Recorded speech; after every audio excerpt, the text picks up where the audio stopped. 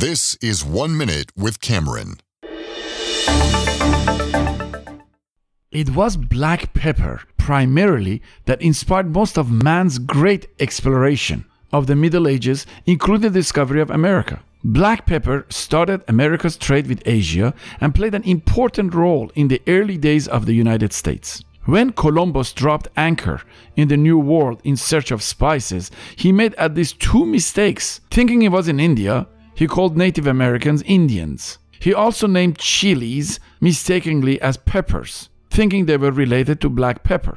The family of chili pepper is called capsicum and are not related to black pepper. Peter Martyr, who came to America with Columbus in 1493, wrote, There are numerous kinds of peppers. Some are red, some yellow, some violet, some brown, and some white. In southern Mexico and the Yucatan Peninsula, capsicums have been part of the human diet as far back as 7500 BC, and its use predates the two great Central American civilizations, the Mayans and the Aztecs. Chilies had many uses. In the pre Columbian tribes of Panama, the shaman used capsicum peppers in combination with cacao to enter into trance and travel to the heavens. Another interesting story is about one of the first colonial American in Boston who took an active part in spice trading in 1672. His name was Elihu Yale, and he later gave his last name and wealth to the renowned Yale University. He arrived in Madras, India as a clerk of the British East India Company, and there he established contact and built his fortune